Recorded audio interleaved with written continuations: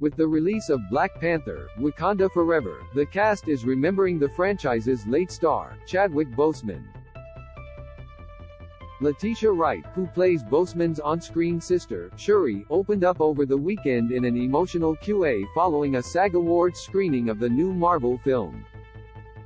The 29-year-old actress shared the heartbreaking moment she learned that her co-star had tragically died in August 2020. I went to my email and someone saying, my condolences. And I said, my condolences for what? Wright recalled, saying she then noticed her phone blowing up with messages. I thought to myself, I am going to make this all go away. I am going to call Chad and he's going to answer the phone, she shared.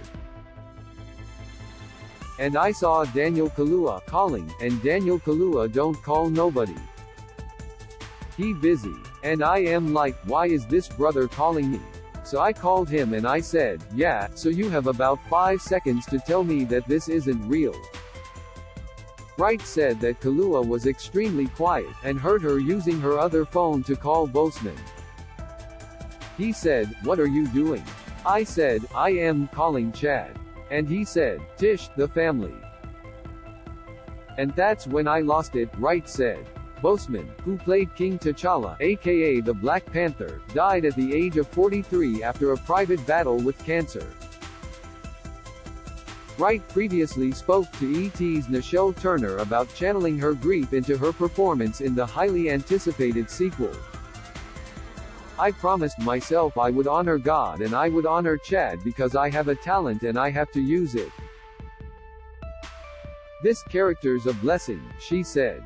The reason I have the role of Shuri is because of Chad.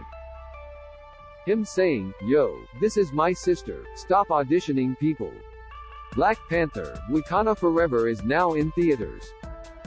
How the Black Panther cast filmed the sequel despite grieving Chadwick Boseman, exclusive, this video is unavailable because we were unable to load a message from our sponsors.